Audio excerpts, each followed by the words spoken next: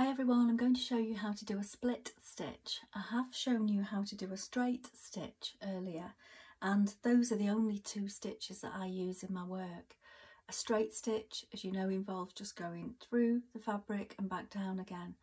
And the split stitch is very much the same, but it's particularly useful if you want to stitch in a straight line to get a really straight line.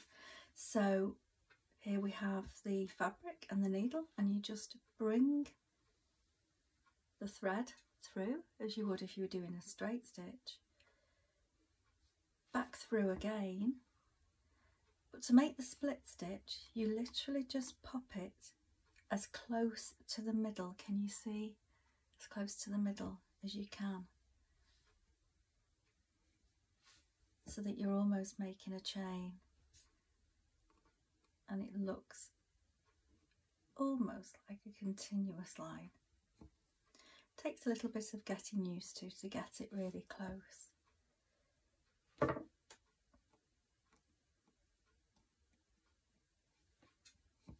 And it probably works better if you're doing actually smaller stitches. So straight through